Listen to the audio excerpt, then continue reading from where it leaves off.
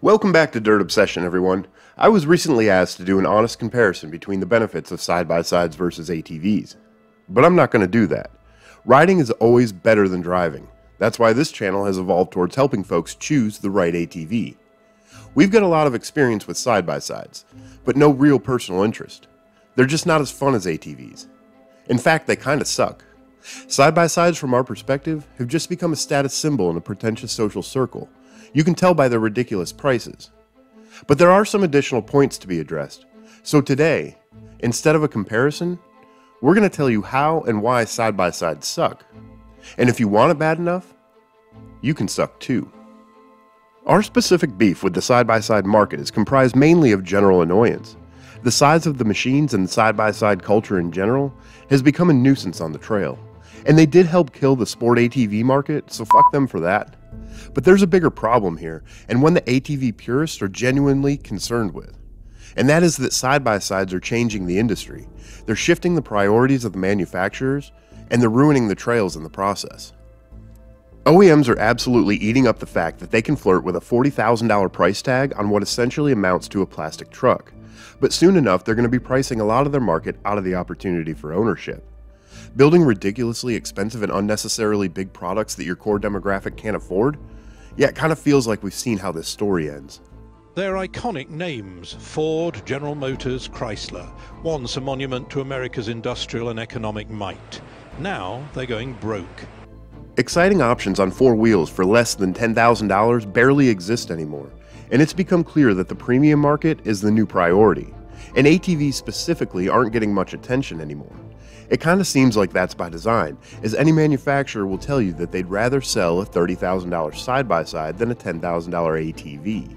So the OEMs continue to advertise power, features, and capability that for the majority of enthusiasts are wholly unnecessary. And in doing so, they've normalized price points and minimum power numbers to the point where people who are new to the market truly don't understand how anything less could still be a legitimate option. Combine that with continuous price hikes, all the way down to the entry level machines, without adding anything of significant value, and it's easy to see where the OEM's priority lands. So, with the changing priorities comes a lot of ridiculously big and ridiculously expensive machines clogging the trails. And that just amplifies the rest of our little rant like a factory installed Rockford Fosgate audio system. The majority of the non side by side driving community would probably agree that there's very little technique or skill required for the operation of an off road vehicle that feels suspiciously familiar to your pickup truck. In a side by side, skill is replaced by a mix of liquid courage and too much confidence in the cage. And the side by side driver can only impress his buddies by his willingness to subject his machine to severe beatings.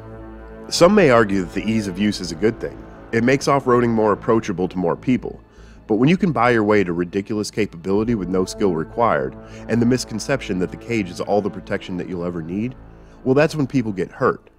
But honestly, it doesn't bother me when the herd thins itself. And the problem isn't the approachability. The problem is side by side culture, at least from our perspective. So let's dig in. The first way to suck in a side by side is by overestimating your ability. Don't get me wrong, we all appreciate a side by side fails montage. But most of all of those horrible wrecks are the direct result of inexperience and confusing skill with a willingness to take on a repair bill. I like seeing some carnage as much as the next guy, but to those of us not committing ourselves to the confinement of a steel cage, you're a dangerous liability. Add alcohol, which the majority of side by side folks seem to do, at least in our region, and you're about as stable as a Karen with a screwed up drive through order. Shut up, can I speak to your manager? So if you want to suck, Make sure to show off your skills to a gaggle of similarly IQ'd henchmen, but make damn sure to do it after a 30 rack of Bud Light so that you don't skimp on the skinny pedal. Speaking of skimping, don't skimp on those tunes either. There's nothing better than country rap thumping down the trail. Side by side bros will drop thousands into a sound system and light whips. I'm pretty sure it's got something to do with some sort of redneck mating ritual. Key to success with the ladies. Meanwhile, their stock air filter looks and smells like a rotting sack of potatoes. Their taste in music is always questionable too, but I will admit it's funny to see a middle aged redneck slow roll you while thumping some gangster rap, because those side by sides go best with a little cultural appropriation. Maybe you can use that for your woke marketing campaign, Polaris. This is for people like you, who welcome every chance to ride, who love a good time, and choose to never go it alone. Some consider the room for two an advantage. Since side by sides have room for two, you get to bring along your wife or girlfriend every single time you ride. Never, under any circumstance, leave home without her. Saturdays are for the boys, and there's no doubt she's just one of the guys. The kind of love goddess that always got along better with dudes than chicks. But the truth is, that frumpy little psycho is one slug of cinnamon whiskey away from a total meltdown. I understand some couples like to do everything together, but packing your wife or your entire family, for that matter, into a side by side just seems wrong. Get them their own machines, teach them to ride, and you'll teach them some independence. There's nothing we love seeing more than a trailer load of machines for the whole family, especially since that trailer load typically costs less than the average four seat side by side. Well, the next way to suck in a side by side is to find the biggest group of fellow side by side enthusiasts you can. And I mean literally everyone. Line them up for the photo op, then, most importantly, drive really, really slow for about five minutes or so and pull that caravan over for some socialization time. Oh, but be sure to take your prolonged rest period directly on the most interesting part of the trail so the rest of us can't take advantage of that feature. And don't you dare worry about trash receptacles either. It's called a razor, not a recycling bin. The world is your trash can. Just go ahead and toss those Bud Light cans wherever the hell you please. It only takes them like 250 years to biodegrade, so by the time you get that caravan rolling again, it should be gone. You know what ATVers love more than anything? They love rutted, impassable trails. And that's fortunate for us because side by side drivers need 32 inch tires in order to comfortably make it down any trail. And always remember to keep the hammer down on any little trail disruption that causes the slightest variation in throttle application. Need a Banshee.